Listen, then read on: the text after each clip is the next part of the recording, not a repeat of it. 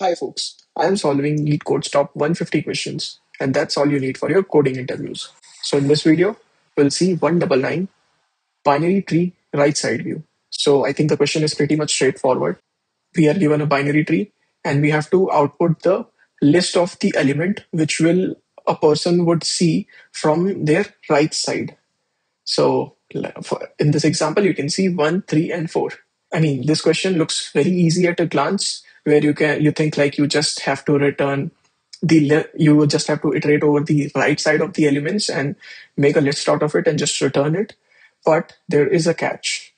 The catch is this example. So as you can see, after two, there are two left nodes where it is, I mean, four and five is also visible from the right side.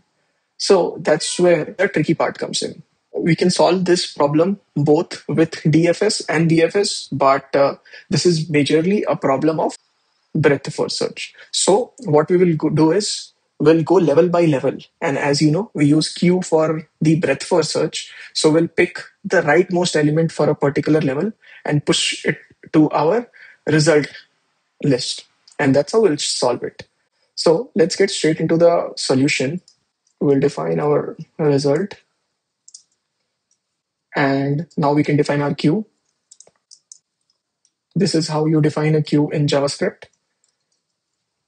Now we can push the root since uh, root will always be on the right side, like the root most element. Now, if our queue is not empty, let's define this variable called right side. And we can also define queue length.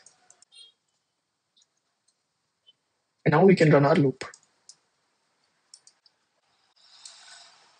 And our node is equals to q dot. And we'll, so this condition, we know node could be null. So if node, and if we don't have the node, we'll just move on to like the next condition. So then q dot push. And then outside loop, we can check if